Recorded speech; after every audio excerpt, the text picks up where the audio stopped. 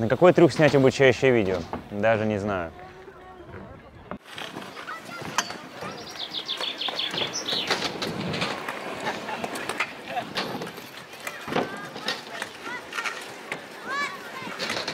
Хм, кажется, я знаю, какое обучающее видео будет в этот раз. В этот раз я расскажу вам, как делать киклис ревайн. Желаю вам приятного просмотра.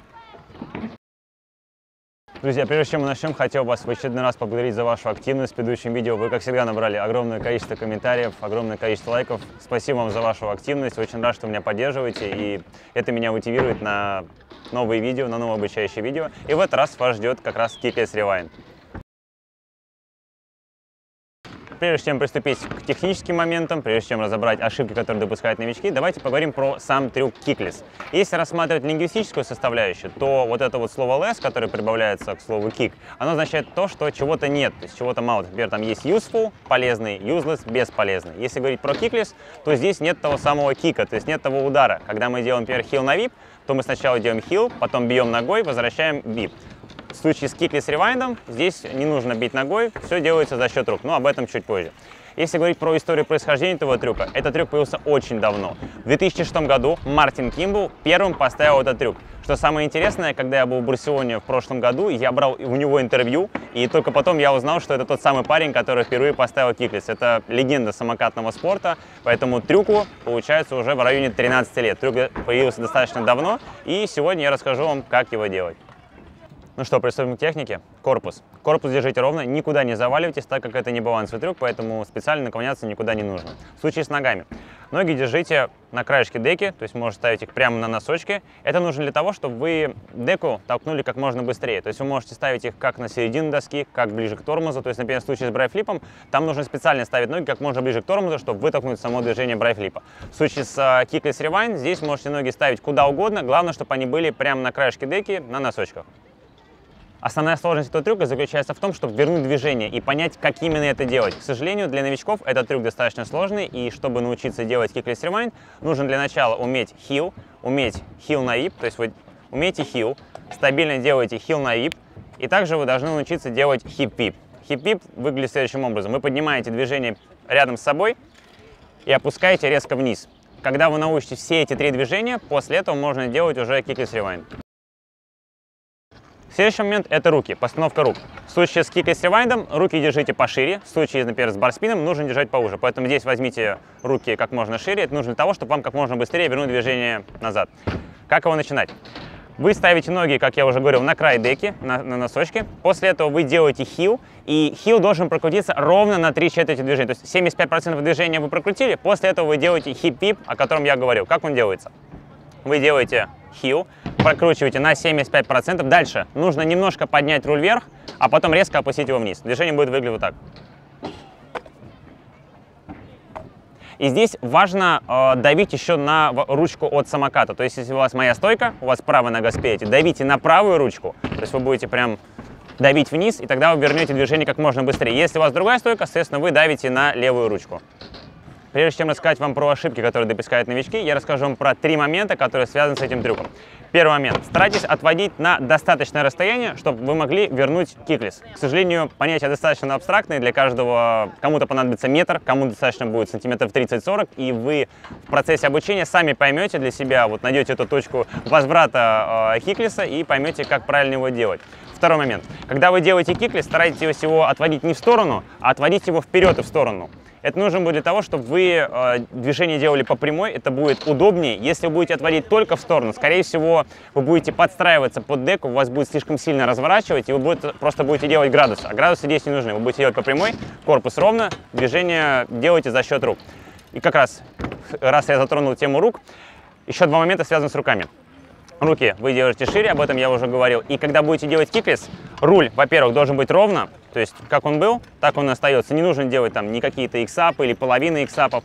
И э, по поводу плоскости, руль должен находиться, опять же, в этом же положении, не нужно его наклонять. Очень много ошибок связано с тем, что вы начинаете делать киклис, и вы наклоняете, дел, наклоняете движение, сам руль.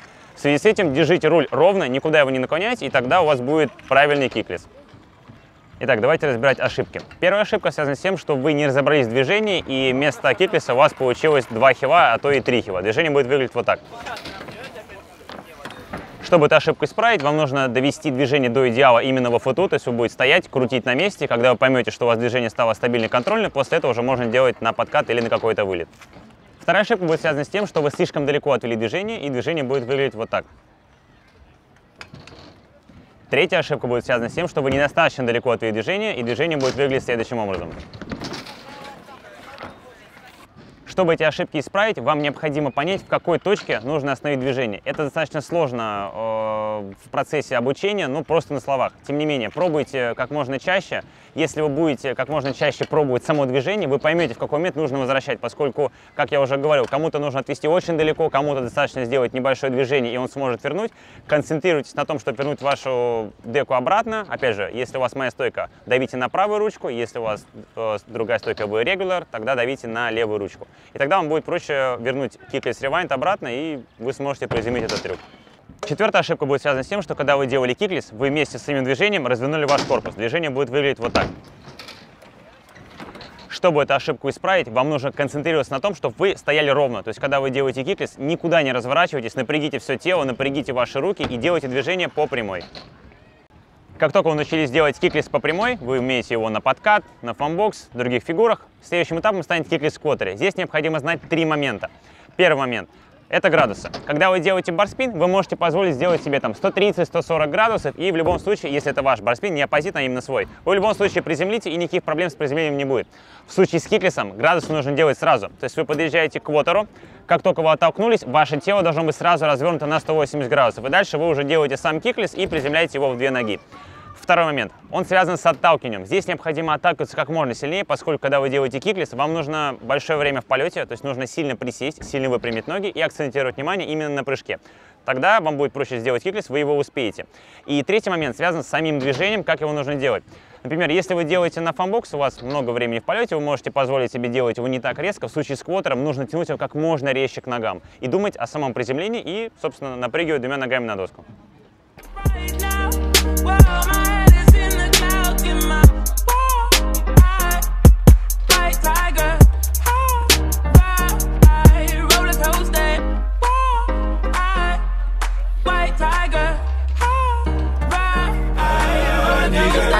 Enough of what you got.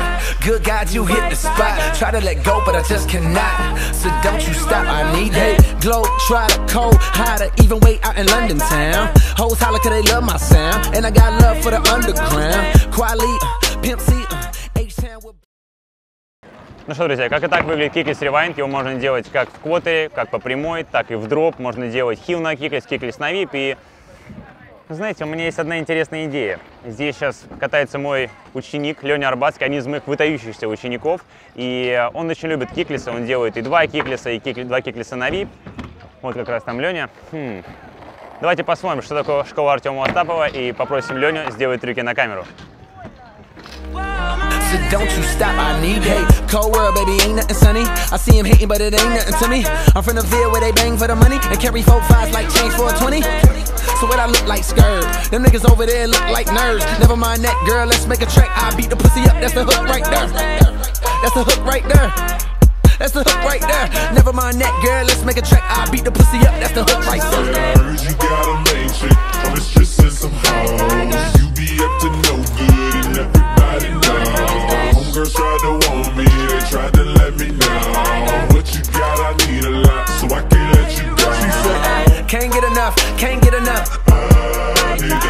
can't get enough, can't get enough. I can't get enough of what you got. Good God, you hit the spot. Try to let go, but I just cannot. So don't you stop, I need that.